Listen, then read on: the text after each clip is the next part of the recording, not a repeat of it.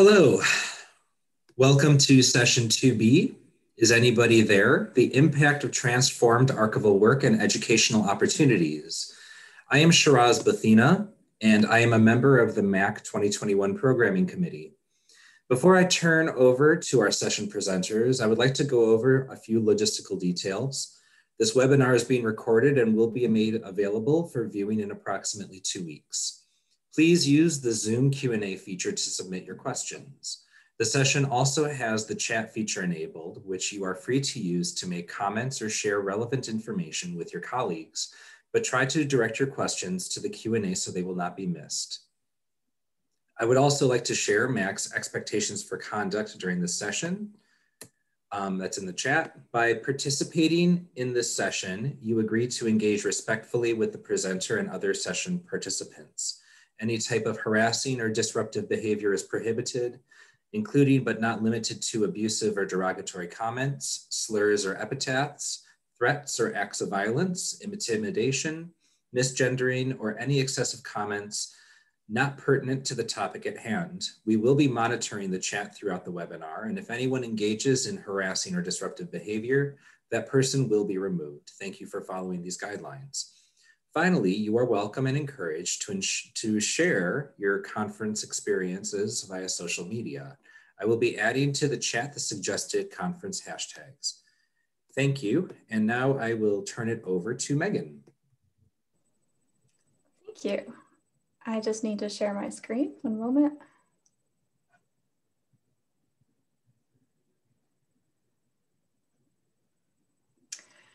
Right, good afternoon. I'm Megan Badgley Malone, and I want to welcome you to Is Anybody There? The Impact of Transformed Archival Work and Educational Opportunities During COVID-19. We have three presenters today. Melinda Isler is the University Archivist slash Special Collections Librarian at Ferris State University. She has a master's in Library and Information Science in Public History from the University at Albany, part of the State University of New York system. She's also a certified archivist. Melinda has been at Ferris State University in Big Rapids, Michigan since 2002. Her responsibilities include managing the university archives, which collects regional history in addition to the university materials. She also coordinates the records management program. Marian Matyn is an associate professor in Central Michigan University Libraries and archivist of the Clarke Historical Library. She earned a BA and MILS from the University of Michigan, Ann Arbor, and an MA in history from CMU. One of Marian's favorite parts of being an archivist is helping students learn about primary sources, how to process and describe them, and discover whether or not they want to become archivists. Finally, we have Katie Higley.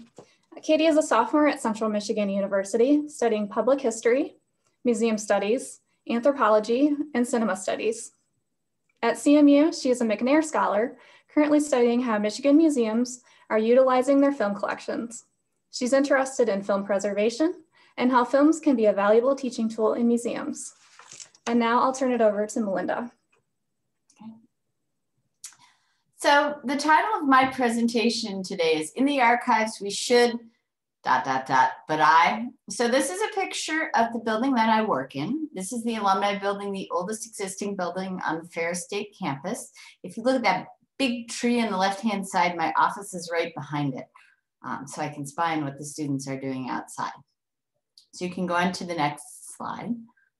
So a lot of times when I go to these conferences, physically or, or online, um, I hear all these great projects and I always go, I would like to do that, but, and the but has a lot to do with being a lone ranger with not enough resources, not enough staff, not enough technology, um, and a whole bunch of buts. But my presentation today is not so much about that. My presentation is about the advantages of being small in the time of the pandemic. So you have a nice shot here of um, one of my courts, I have racquetball courts that were converted into archival storage space. I want to be clear, there's no climate control, but I will point out that I actually have a vent in the top of the roof that I can get fresh air into there that's nowhere else in the building, which is really critical in this time. Um, I'm going to talk about the spaces that we are using. the people that we're using, the projects, a little bit about what we obviously can't do, and how we can use some of what we've learned during this time and going forward as we are at least as far as we know supposed to be back to fully like we were in the fall of 2019 um, and not having primarily online classes. Forward, please. So I'm going to give you a little bit of background about what I manage. So I manage myself since I'm the only employee. While I report to the library, I'm physically about four blocks away from the library. I have sometimes two students, sometimes three, sometimes five students. This year I had an extra student funded by a grant, so it was a little bit more. I manage archive storage spaces, an inactive record center, an archives reading room, and the student workspaces. Um, I have an example of a bunch of display cases around campus. This is in our main university center building. It is used, um, they have a history corner. And so there are things that were taken off of older buildings that were put up, some date stones and things, and I have a display case. I have about 9,500 feet of records that are archival records. I also manage records management. So I have about 1948, and I had to count that because I just destroyed some stuff last week. I destroy about 100 to 125 boxes a year and process the records destruction approval process for Ferris. I also have server space and I'm also mid-grant, as I mentioned earlier. We are combining our DSpace institutional repository and our digital asset management system, which previously held photographs but didn't let the public view them unless they got a specific link into a single publicly available system through a list grant. Next slide. So a large part of what I'm doing in a lot of my slides are pictures because it's hard to explain and I think it's easier to just show you. So you can see the other side of the tree now. Um, this is the archivist office space area. Again, you will notice that this is an old building which doesn't have climate controlled storage and heating, but it does have a whole lot of windows and windows that can actually be opened. And so the airflow issue that a lot of buildings, including our main library, had was not so much of an issue for me. Um, if I was worried about it, I opened up a window. In fact, in the spring, when my spouse was teaching from home, he was uncomfortable going into the arts and sciences building, and we had such poor internet that we would come in at night into this building and let him upload it here because he felt more comfortable about the uh, airflow space in my space. So that's the archivist work area. We're going to talk a little bit and show you all the other work areas as well, including our scanning area, our student workspace, our reading room, and what I call the back room. So if you go forward. So here's our reading room. It's got two views, one looking out towards the courtyard area and one looking back, which has sort of the collection. You can see again, lots of windows. Um, if you look at the slide on the right, you can see I have these four large tables. Um, when we were measuring out spaces to see who could come back when, um, you can only fit one person at each of these tables.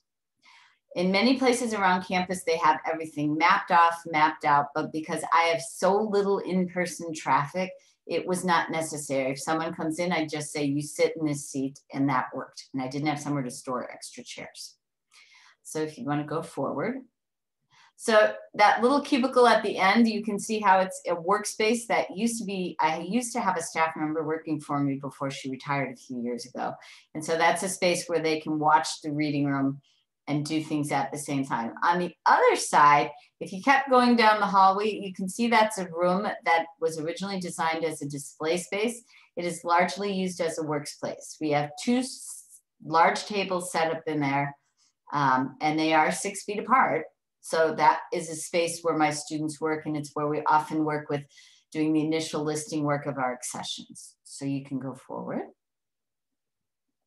And this is another one of the cubicles. It's me and my two to four semester students each semester. I like to hire sophomores or freshmen because I like to keep them for a couple of years. Um, it takes at least a semester to train them. So I pair them with an older student so that they can get the, oh yes, there's this, or oh no, that's where you're gonna find the display case things that you're gonna put into the display cases. Um, it's not something I like to retrain them through every semester. And they do deliveries for the archives. They actually do the initial listing. They scan photographs. They do much of the reference requests of, you know, my great grandmother was here in 1910 and they know the six different places they can look and where to scan and what to do. And so I could not run my operation without them. And I run it more slowly in the summer because they're not here. So you can go forward. Their work did not change really all that much. Um, in the spring, I tried to give them projects that they could work on, digital projects. We had a lot of things going into the institutional repository that needed to be made ADA compliant before they went live. But only two of my students had any internet access at all because they went back to their own rural areas, one in the UP, um, one out sort of near where you are, Marian, towards the to the east. And so they couldn't manage those sorts of projects. So my goal was to get them back um, and do it in a safe manner. At Ferris, we had to fill out something called the re-engagement plan that went through the safety office, which is pretty familiar to me because I manage most of their records in the Inactive Record Center. Um, so I pulled out my plan. I showed them where everyone was going to go, and I, I tried to have two students working at a time, but not all four at once so that we minimized the people who were in there. Um, and they approved my plan to allow me to start going back to work in August. So we had a grant funded project where they were working approximately 18 hours a week. Um, that is unusual for my students. Usually they get between six and eight hours a week because that's all my budget can afford. So we had one student who was full-time doing nothing but the grant funded scanning. I got a new scanner and desktop, which you can see at the end of this photo, and I already had another one, and they are six feet apart. As I said, they frequently do reference. Our reference, even back in the pre-COVID days, I probably get non-Ferris, active Ferris people visitors is probably about 30 in a given year. So I don't get a lot of in-person traffic. It's usually remote and we send them what they're looking for. So they can work on those kinds of questions. However, again, because I don't have anything digitized, it was pretty much something I couldn't do from home even when my internet was cooperating because there was nothing scanned. Uh, we also manage acquisitions. I had a fun project in end of March when I got a call from someone who is the secretary to the dean of the College of Education and Human Services, which in a reorganization was being shut down over the summer. She said, I'm retiring. She said, I need boxes now. And so she got me into the building and they had shut down the elevators. I don't know why. So I hauled up the two cases of boxes up there for her and she filled them up and the moving crew delivered them back to me in the summer. So when my students got back, they had to go through it, get rid of duplicates, compress it, and it went from 36 boxes down to 26, which are waiting to be brought downstairs to my storage area. So we have a lot of acquisitions work. They primarily do the box and file listing. I use ArchivesSpace. ArchivesSpace was new to us. We just got it implemented in February of last year.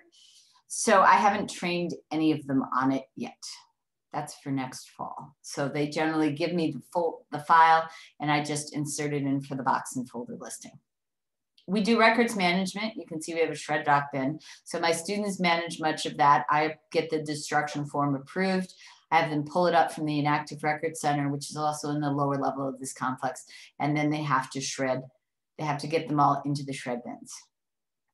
So they were responsible for updating that display case photo that I had showed you earlier. We also provide boxes, not for people moving, but for people who are transferring stuff to our area. So they bring out tours. And so, and I think Marian's probably going to mention this as part of her archival class.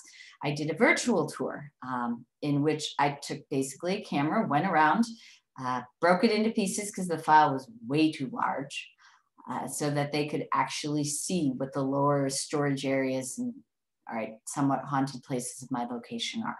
So you can go forward.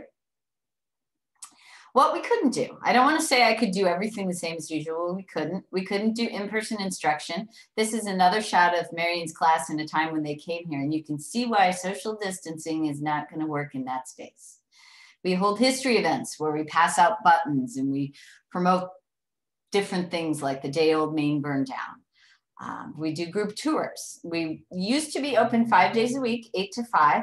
We didn't get to do that this year because of archivist childcare restraints. And as part of that childcare restraint, my child is being picked up by my spouse, who thankfully isn't teaching in the summer. Uh, so I had to sort of limit my hours and work from home in the later part of the day. And while we have a library van, we did, chose not to use it for deliveries because A, parking was not nearly the issue that it usually is. Um, and B, it involved a whole lot of sanitation because we didn't know who would be in it before us or not. So I just said, just use your own vehicles. And if no one complains, we'll, we'll do that. My students don't pick up full boxes. We just deliver the empty boxes that aren't put together to them. So next slide. So my reflections on what can I still do or not do. Um, I find that my student workspace, except for that one place where I put two computers in the same thing, works pretty well. They're close, but but they're not on top of each other. And it's still primarily a physically based job. I would have considered if it had worked, allowing students to work some hours outside of uh, the archives. But since internet is apparently not a good thing in my area, it's not something we can really do. Our student workers prefer to have multiple projects. I should have rewritten the grant to make it part of two students' times because standing there scanning all day is, is tedious. Um, I have found that share drives like OneDrive are a great thing to get electronic files from other staff on campus who are now migrating to non-paper based files. As people were retiring, they would instead of bringing in a flash drive and saying, here, take it off of this, they would just put it into OneDrive. And as long as they did it before they retired, because our institution has this thing where two weeks after you leave, they delete it out of the system. It's worked really well for electronic acquisitions. Um, and I'm hoping, I like in-person meetings much better as a general rule, but I'm hoping that some of them I can participate in online because it allows me to be here more frequently when the students are here in case they have questions. So I would like to see how we could do that. And you can go to my last slide, which is basically my um, contact information. So that is my presentation and we will go to Marian.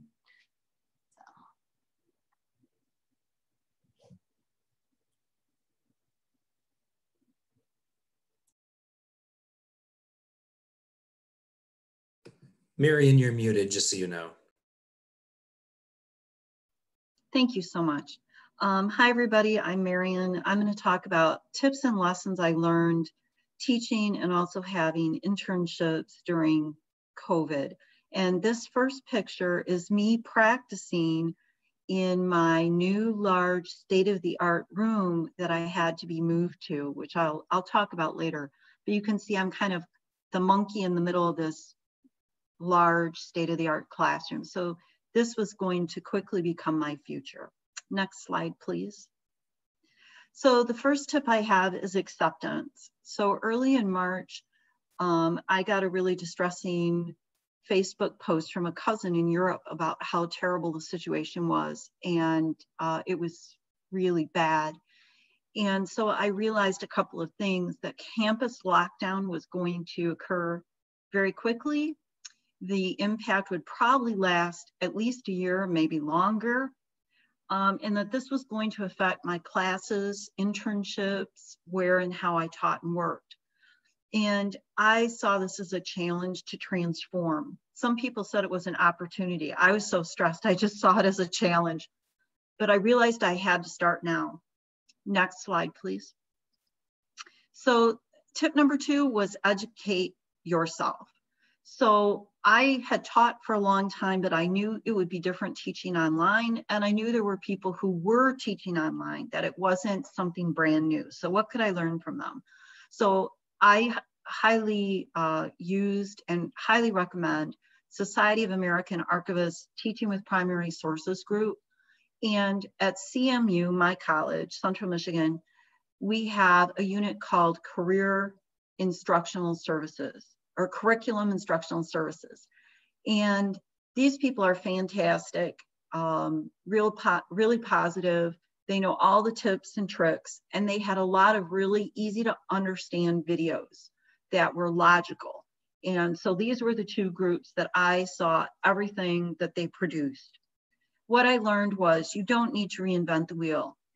Everything you produce for online teaching or internships, you want to have it evergreen so you can reuse it easily in the future. Long-term high stress physically affects everyone's brain and it prevents and decreases learning ability. And that's both for students and for professors or teachers. It is very important to encourage a strong sense of community online, and it's harder online. And tech issues will happen. And I heard this in every single webinar, and it did happen to me. And my mantra during COVID became adapt, adapt, adapt. Next slide, please. So to give you an idea, um, I went from classes like the one pictured on the left, where I had many students in a small space jammed together for a project. They all worked on physically processing manuscripts from a lumber baron from the 19th century into the early 20th century. And it was going to become what you see on the right, where I had a class of the same size and it would be um, all adapted to online. Next slide, please. So tip three, choose the best tech for your needs. Like we were talking right before the session, for me, Microsoft Teams worked. And what I found out that I didn't know is I had a friend who actually works for Microsoft. She shared two short videos with me. It was like uh, 25 easy steps with Microsoft and how Microsoft can be used for teaching. And I thought, wow, I, I'm, I can't waste time there's too much to do. I can't waste time looking at other systems. This one seems to do what I need. I'm going with it. It already had a successful record in education. I was able to post materials that uh, so they would be evergreen. Very important to me, it had high potential for small group learning and community. And um, I'll tell you later, that didn't work quite as well as I had hoped, but it is improving year to year. Their videos were very intuitive. I don't think like a lot of software producers or um, coding people. So that was very important to me. The videos were quick and easy to follow. Using Teams is secure. Nobody drops in on you. That was a big problem at CMU with people dropping into classes and causing problems. I use Teams for everything, classes, meetings, internships, training, chat sessions, everything. Next slide, please. Tip number four, practice makes perfect. I practiced with friends and family, and I had a friend, and she was my quote unquote problem student. She tried to take control away from me. She tried to stop the session. She tried to interrupt. She took over the chat, everything that a problem student or somebody, you know, problematic might do. So I was prepared how to deal with that it became very clear to me that I would need that new room. So I requested a new room. I did not have enough space in the Clarke reading room to space everyone out. We could only fit seven people in the Clarke, and I already had 24 students. So I was given one of the most advanced tech classrooms on campus, which was like a massive leap forward for me. Um, to, to deal with this, I called in favors from my IT friends. So don't be afraid to do that. Next slide, please. So my new classroom was in a totally separate building. So I also could not take manuscript collections or materials in to demonstrate them in class like I normally would. And I should say my archives class is um, both undergraduates and graduate students. Okay, so it's like a general overview of everything you want to know about archives. So I ended up in a separate room in a monkey in the middle teaching uh, area, which you see on the left, and with 10 large monitor screens, four microphones hanging from the ceiling and several cameras with multiple views. And I had to learn how to deal with all that. Next slide, please. Tip number five, do what you can, where and when you can. So I was at home from March until June. In July, we had to start going in so many days a week in 2020. So I used that time to educate myself about the system, about online teaching and training. I prioritized work to do at home and in the building. When I got in the building, all I did was stuff that I had to do only there. And I used all my um, uninterrupted time at home to review and transform materials and processes for online. Now, if you take anything from my presentation at all, take a picture of what's highlighted with your phone. My guiding question was what do students need to do to demonstrate to me they can apply what they learned in my class? What is absolutely necessary? Not what I like, not what I want, not what I'm used to, but what is necessary. And this has become my guiding principle. Next slide, please. So tip number six, if the student can't come to the archives, the archive somehow has to come to the student because my class is about archives. So some of the students were going to have to rotate because they couldn't all fit in the classroom. So that meant everything had to be available online, even though this was a hybrid class. And CMU did not require students to be in the classroom so many days a week. They, they had uh, the ability to choose when and if they were going to come in at all. So for my lectures, I usually have many, many primary sources, all different kinds of formats and materials and examples I share. So to save time, I went in with my cell phone and I took pictures of them. I had a list in advance. It was fast and easy. Um, and I wanted to show size and physicality and depth. So what I did was I took several photos of each item and I had either a ruler, my hand, or a yardstick in the image so students could get some kind of an idea. Otherwise, it's just like one picture, they're all the same size. So they could tell some of these things were just massive that I was taking pictures of.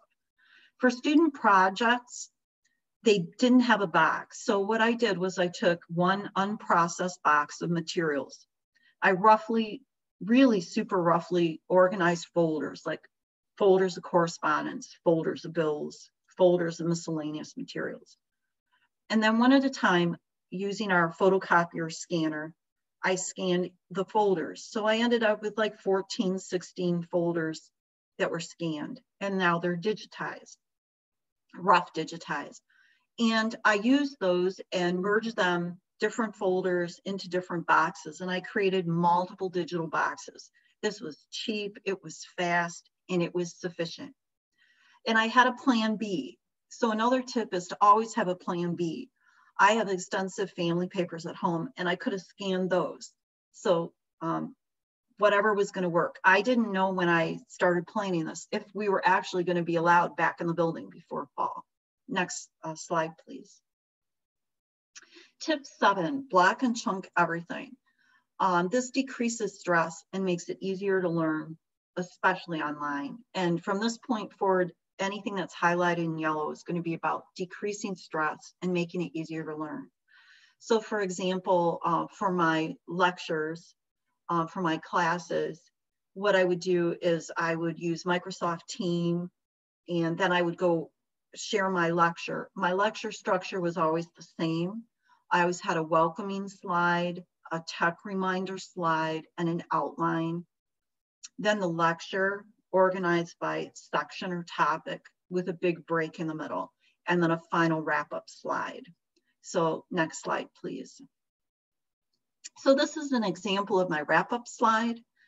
Um, I wanna say my class was from 6.30 to 9.20 at night. So it's, it's exhausting. You need interesting things to look at to stay awake. And the image of CMU's campus from the 1970s, that image changed to go with each topic that we covered. So if we had a night where we talked about photographic materials, it would be some type of photographic material. So the wrap up was always kind of a reminder slide because at this point everybody's exhausted. What of your homework is due and when? Um, I always tried to focus on hope on positive on getting through COVID together and tried to bring, uh, have a statement that had something to do with the topic of the evening's discussion and lecture or the image on the right. And I always had my contact information and I always thank the students for being part of my class and wishing them because at this point they're probably going to go home and either go to sleep or um, spend a couple hours doing homework. So it's a, a long day. Next slide, please. Tip number eight, communicate. Brief to the point directions. I thought I had brief to the point directions, but I found that there were still students who could not absorb the data. So I encourage everyone, make your directions even briefer, even more to the point. Um, engaging questions are really important for any online teaching or training. What do you think about, or what if, or what is your opinion about to really get people engaged instead of just saying, do you have any questions? Um, for positive ongoing communication, I responded to each student by name anytime they communicated with me, whether in class or emails. I only had 23 students. So if you have a class of 100 or multiple students going through with like one shot bibliographic instruction, um, that that's really hard. I mean, you can't learn all the students' names, but you can always say, um, you know, something like my dear student. So I had a what I called my dear student Wednesday reminder after class on Tuesday night, and I would summarize um, where we were, what we were going to do going forward, homework assignments, who was going to present in a week, two weeks, three weeks. So they had those reminders. Next slide, please. Creating a sense of community. Um, so before class, my students could see me. Um, I would, we would chat um, in teams um, if it like Halloween, I found Halloween emojis. I'm not big on emojis, but you know, something that they would connect with or, or laugh about. I also wanted to share like reacting um, positively to make a sense of community. So election night happened during my class. And when I was coming into the building, um, it was clear that it was a point of extreme high stress. Um, it was visible and audible. I had students crying in the hall on election night. So, I, and I'm not going to make this political, I'm just saying this as an example.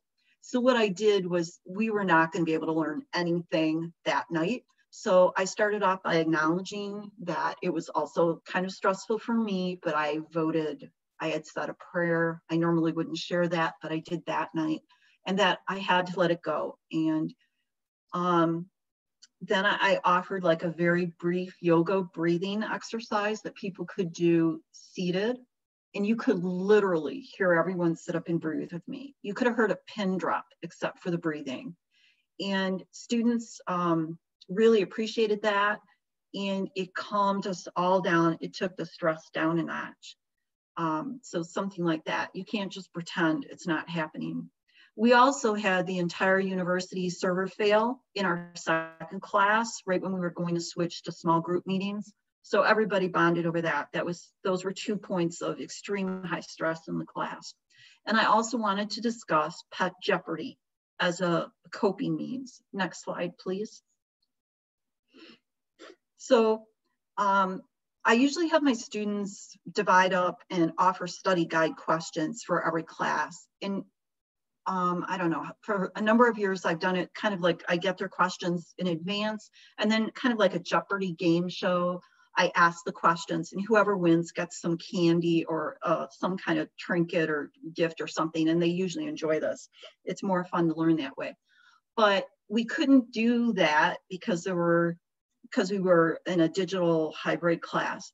So what I suggested was pet Jeopardy. So with your questions, you would include a picture of your pet. So this is Freddie, and Freddie is just like intoxicatingly cute, right? So everybody just thought this was wonderful. Everybody talked about their pets. There was lots of laughs, it decreased stress. For the students who didn't have pets, one was a bio, bio major who had pictures of plants with really cute names that went with the types of plants. And then I had one student who had no pet pictures at all. So I went into our historic uh, photographs and I found pictures of kids with pets and put those up and they enjoyed that. I will definitely do this again. I might do this for a midterm uh, project too. Next slide, please. Um, adapting projects. So my projects for my class went from larger paper collections in the building to smaller digital boxes or collections that they did on their own time outside of class. That was kind of the HyFlex part of it. Like I would demonstrate and we would discuss, and then they would do work on their own outside of class. And we went from visiting archives in person for research or like visiting uh, Melinda's archives to have a tour and understand how different uh, various archives can be, how they're set up, how they function, what they do, to visiting and doing research um, of digital collections online and interacting with archivists like Megan and other MSU archivists as well online. Um, this was sufficient and it was less work and it decreased their stress and my stress. Maybe not Megan's and Melinda's, but everybody on my end. Next slide, please. I also adapted all the assessments. So we went from paper, midterm, and final in class during class time to online embedded in Blackboard, which is a system CMU uses. And the CIS staff embedded it in Blackboard for me. Um, I found out this was a, a, great time saver for me and decreased my stress um, because I had the tests were true and false, uh, multiple choice, and short answer. The only thing I ended up having to grade myself was the short answer. I offered the midterm outside of class time in between two classes, which worked well. And I allowed the maximum time which was two hours for the midterm and for the final. And this decreased the student stress. I was under a lot of pressure from CMU to crunch all the exams down and also to use the lockdown browser. But what I found is if like a cat goes by and you look at the cat, the system tracks your eye and then flags you as possibly cheating on the, the assessment. So I just didn't want to deal with that. Um, this worked so well that I'm definitely going to switch to having the homework embedded in Blackboard next year. So this year they had to like print it and then email it to me, but they have great stress worried about if their emails get to me. So I would suggest if you have an ability to do this, um, to, to do it. Next slide, please. Online internship training. So I just wanted to say the online internships were less stressful for the students than for me. Overall, that's what I've been hearing. I was really concerned about it, but it worked really well. It adapted well. And um, if you want more material on anything I'm talking about, just contact me and I'll share. So what I do the first day is I train. So everyone is minimally at the same level. Some of them may have prior experience, but there's a certain minimal level and an understanding of um, expectation and communication. I send them materials to read in advance and a form to sign. I chunk and block every bit of training. I also, if one question comes up from one person about anything, I share that question and my answer with everybody so we don't have to repeat.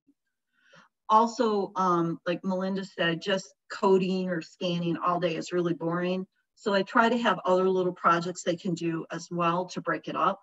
And every Friday we have a meeting and I encourage and assign the students to come up with something fun to share about archives. It could be a news article, it could be a video of some sort, a topic we want to discuss, something interesting.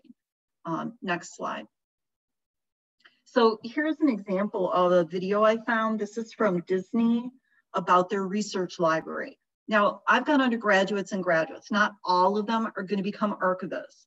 So this is bright, colorful, fun, which decreases stress. It's short. I like short videos.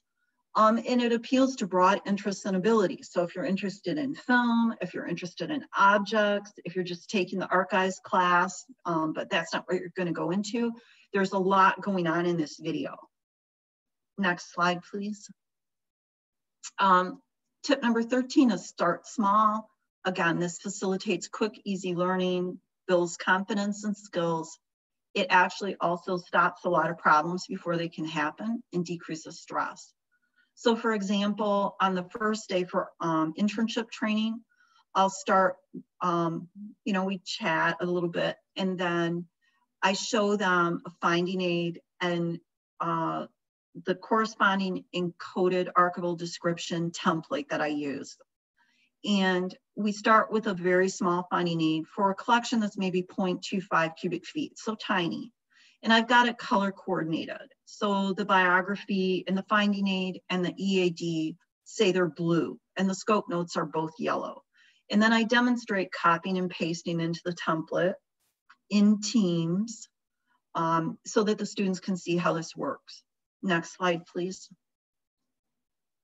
So then I have another small finding aid and I have for about an hour, I'll have the students copy and paste that into the EAD right on top of what was there. Then we'll meet about an hour later and we'll talk and discuss about their experience and we'll fix errors together. So then I'll give them a larger finding aid and have them repeat. So this gets into um, into them how to do this and it's non-threatening and it's a learning experience that grows. And then usually about three o'clock we meet the first date and maybe wrap up, talk about what they're doing, some of the other little projects. So that's a good first day. Everybody's exhausted. And then the next day I'll start them on a larger finding aid and they'll encode in sections, maybe just like the first couple of pages, then maybe one series of the box and folder listing. And we meet, we check, we discuss. So by, you know, from a lot of meetings on day one, we go down to maybe one or two meetings the rest of that week. And by week three, we're usually down to one meeting only on Fridays. Next slide, please. And I'm almost done. What I wish had worked better in my class. So MS Teams for small groups didn't work uh, very well um, you had to have a student start a meeting. We were very stressed from the university server failure. So we decided just to drop it. That was being adaptive to the situation. It was just too stressful. But it's much easier. You can assign students to small groups and put them in it automatically and then bring them out of it. So I'm gonna try it again in fall. The Blackboard discussion boards were highly um, lauded um, I found them very time consuming and the completion rate was mixed amongst all the students. It's a good option for quieter students to feel comfortable expressing themselves, but I don't know if I'm gonna do that again. Next slide, please. Oh, and I wanted to say my internships worked great. Um, I, I, except for having more projects for them to do in the future, I, I thought those went really well. So I transformed everything my class graded me a four out of four on the student opinion surveys. My internships, my interns learned skill, grad, will graduate on time and save them time and money instead of waiting for me to come up with things to do when we were in the building. And really importantly, I am valued just beyond the CMU libraries by the other programs and departments with these students. Last slide. So this is my email. If you have any questions, I'm happy to answer them. Thank you.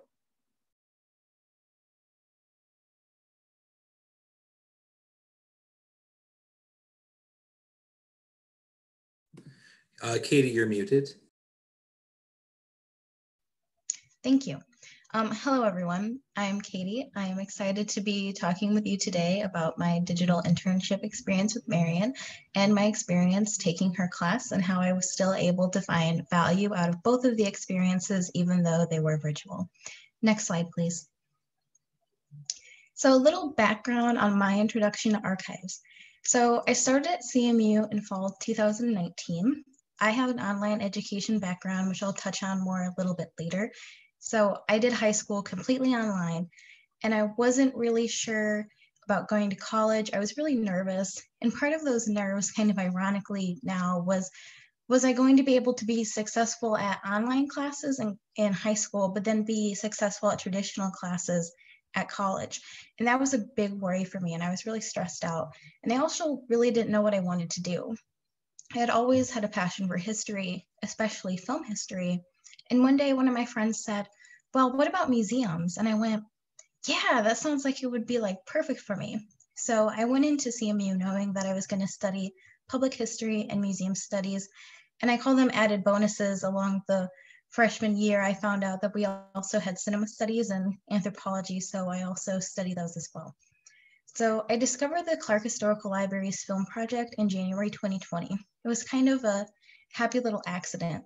I had went to sign my cinema studies minor with my advisor, uh, Dr. Kevin Corbett, and he was very interested on why somebody who had a background in public history and museum studies would also want to be in cinema studies.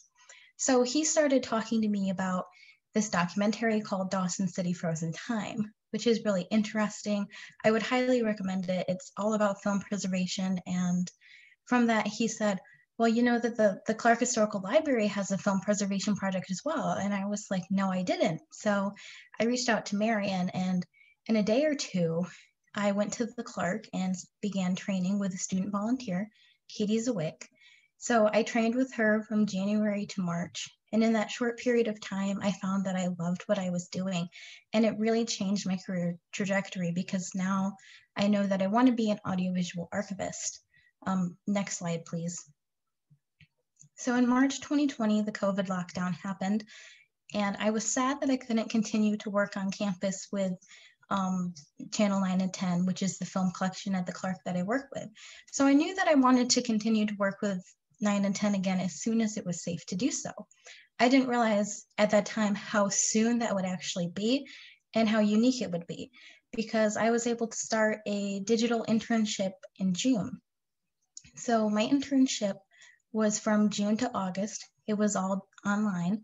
It was unpaid, but for class credit. This is a photo of me this was something that was interesting to me because one of our things we have to do for for getting class credit is to share a photo and write a little bit about our experience. So I'm like, well, how do I share, you know, myself encoding? So this is how I did it. I just kind of set the computer in front of me with some encoding that I thought was interesting and and took a photo that way. I also want to mention that for the Clarke for Channel 9 and 10, it has always relied heavily on volunteers and interns.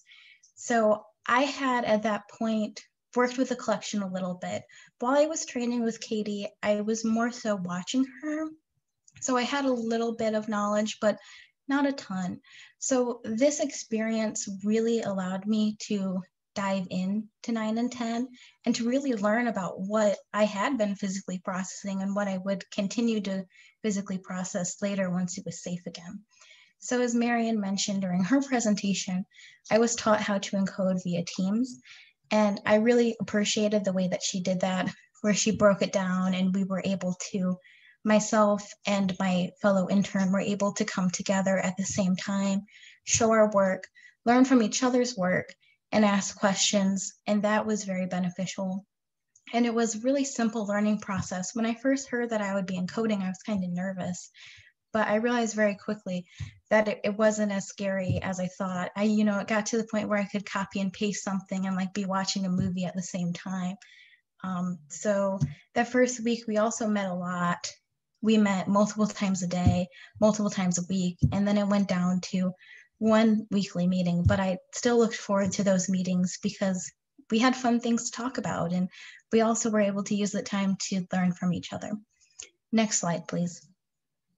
So this was a very valuable experience for me. As I said, it really let me gain intimate knowledge of Channel 9 and 10. I found some really cool, interesting things within the description that I was reading. And that's one of my favorite parts about working with 9 and 10 now that I can physically process it again and actually watch it and write those descriptions myself, is that I never know what I'm going to find. So part of the class credit for this internship was also that I had to write a paper so while I wasn't encoding, I was like doing a ton of independent research, and that also helped me get more familiar with archives in general, but especially with film collections. And one of the things that Marian encourages her students to do is to write a blog post for her blog that is shared. So I wrote that blog post and then I was able to take that blog post and get it published, which was a really big thing for me and it's led to me being able to share my experiences at other conferences and share it on campus with other students who are kind of in the same boat where they're like, you know, I want to graduate on time, but really, but do I really want to do a virtual internship and I very openly share my experiences with them. And even though it was virtual, it strengthened my desire to become an audiovisual archivist. Next slide, please. So another thing this led to was becoming a McNair Scholar. So my interest in being a McNair Scholar in the project that I'm working on currently was really born out of the independent research I did during my internship. So what I'm working on now is exploring how film is being utilized in Michigan museums with the ultimate goal of an increase in preservation and use of these valuable primary sources. This is a picture um, from the Clarke of a very interesting film we found that was wrapped in a garbage bag and then wrapped in tape. Thankfully, we were able to get it out with pretty minimal damage. Next slide, please. So History 583. I took it in the fall with Marian. I was kind of nervous to take it because I was still a sophomore and it was a 500 level class, but I felt pretty confident about it because of my experiences working with Marian in the past and the independent research that I had done during my internship. So it was a HyFlex model via Teams. And as I said earlier, I do have an online education background. So I feel like the transition for me was easier than it would be for a lot of students, but it was also very different for me because I had a lot of um, questions and expectations about how things were going to be done. So while I had done online education before, everyone was online. In this case, it was like some of us are online and some of us, you know, are there in person, which was very interesting. And I found that Teams was one of the platforms that my professors had used that I did prefer, but it definitely had some of its challenges. With Marian's class, we never really figured out how to do breakout rooms, but in another class we did, and I found that to be valuable. And I did ultimately like the way the team's breakout rooms did work because I was kind of I was kind of worried about that because I didn't think that when I was in high school, the system we used worked well with breakout rooms, but I thought that teams did. So I chose to always attend class online. Part of this is because Marian had asked me if I would because I felt pretty comfortable doing things online and also because of that rotational issue. And this is a picture of me and the Clarke with 9 and 10. Next slide, please. So we had in and out of class discussions. So with Teams, you could pop on the speaker, you could get on your video, you could type in chat. I noticed for me personally, I'm a very shy individual. So with these classes with the chat feature, I notice I'm asking questions and adding comments that if we were in person, I know I wouldn't add but the discussions didn't work perfectly. So as Marian said, the discussion boards were very hit and miss. I recommended them to her because we had done them in a very similar format in a couple of other online classes I had done, and they had worked well. But it was it was a very mixed bag, and I found in my other classes that were also doing discussion boards, it was the same thing, unfortunately. With Marian's class, I was also able to learn from graduate students, which was nice, especially as someone looking to go to grad school. Being able to look at the work that they were doing during that class and what they had done was a very nice experience. And every class was a learning experience. We never really knew what was going to happen. But the great thing about Marian is that she truly cares. She would ask me before and after every class, what went well? What ideas do you have? what can we change? And as a student, I really appreciated that. I felt like she cared and that she really wanted every student to have the same experience, but with less stress. Next slide, please. So we did have to process an, ar an archival box. That was also a continual learning process where I know there were days when I'd have like 10 questions, but then those 10 questions could be shared to the whole group and it ended up clearing a lot of the confusion. I liked the, that the files were scanned and uploaded to Teams. I loved the little magnify feature on Teams. So, you know, I could zoom in, I could turn up the brightness on my computer to read everything better. And I love that I could do it on my own time. And Marian also gave us a document that had very detailed instructions and broke everything up into sections, which was very helpful because during the semester it was shorter than it usually is and I had more work to do than ever before. So being able to break this up and have the instructions right there and do it on my own time was very helpful and it was not as stressful for me as other experiences were during that semester. Next slide, please. So taking her class was also a valuable experience. I mean, it would have been great to be there in person and seeing in person a lot of the cool things that she was going to bring in. And also you definitely form more of a bond with people when you see them face to face so i did miss that element but i also enjoyed the online elements. There's there's benefits to both. And i do like HyFlex because i think it balances both. And i feel that i can translate what i learned virtually to real archival materials and I also feel like I got monetary value out of class. When we left for the COVID lockdown, the end of that first semester, a lot of my classes just like stopped. Um, we I had one class that continued doing virtual sessions and then the rest just kind of stopped. It was like, here's the rest of your work, read it on your own, or here's a recording. And I know myself and a lot of other students didn't like that because we really didn't feel like we were getting our money's worth um, or, you know, learning the way that we should be learning, getting the value out of that. I also feel that my experiences led me to being a more confident student assistant because I've learned a lot more. And it's also definitely increased my desire to work in an archive. And Marian's class was definitely successful. And this is a picture of me after I had finished my first two boxes of nine and 10 after nine months of working with them. Next slide, please.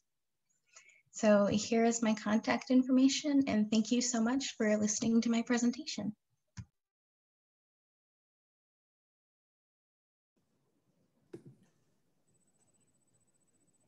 So um, I just want to point out we only have about four minutes left of time. So I didn't know, Megan, if you had slides to present as well, or if you wanted to open it up to Q&A, I'll leave that up to you. Oh no, we can open it up to Q&A. So if people have questions, um, you can um, throw them in the Q&A box. I haven't seen any pop in. Um, I haven't seen anything come in the chat as well, but um, I did want to give people a chance to ask some questions um, or at least leave it up to you guys to decide if you wanted to do questions or if you wanted to um, take the last four minutes to do a little presenting. So. Um, no, I figured we could open up for questions if there's any from participants.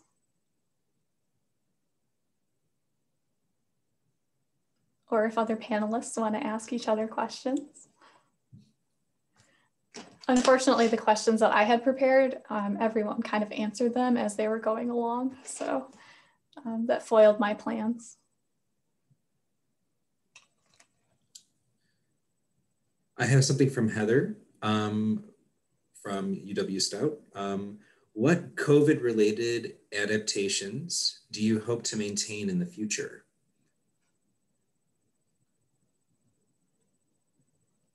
And Heather, was that for everybody or was that just for someone specifically? Anyone? Thanks.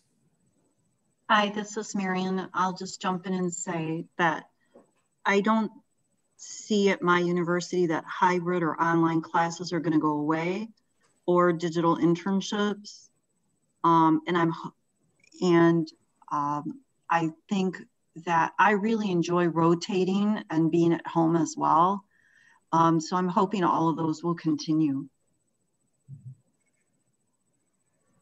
Yeah, I definitely second what Marian said. I would love to see HyFlex continue. I think that it's a very valuable tool and for some people that's the way that they learn best, but I understand that for everybody it's different. So I love that that is an option and I hope that it will continue.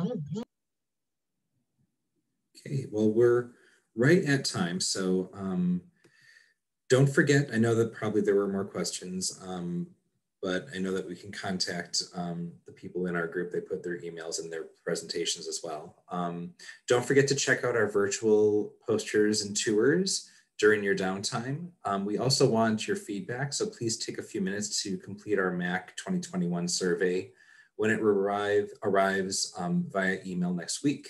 So um, thank you all so much for attending and um, we'll see you soon. Take it easy.